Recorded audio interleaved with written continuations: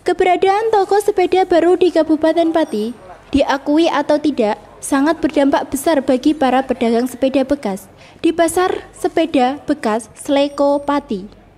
Sarju, salah satu penjual sepeda bekas di Pasar Sepeda Bekas Sleko Pati mengungkapkan, di setiap tahunnya kondisi jual beli sepeda bekas semakin merosot.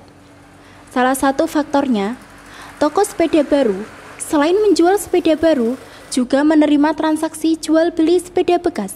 Inilah yang membuat kondisi penjual sepeda bekas di pasar sepeda Seleko terdampak.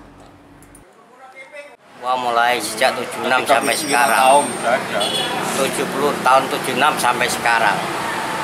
Wah sekarang nah, dulu ya agak baik, sekarang itu hanya merosot terus deh harganya.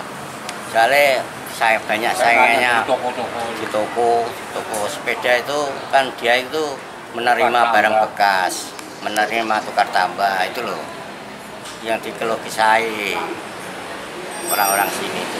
Mini, ya ada sepeda onto, ada sepeda gunung, sepeda lipat. Soal harganya macam-macam, tidak bisa ditentukan. Ada, ada yang murah, ya ada yang 100, ya ada yang 75.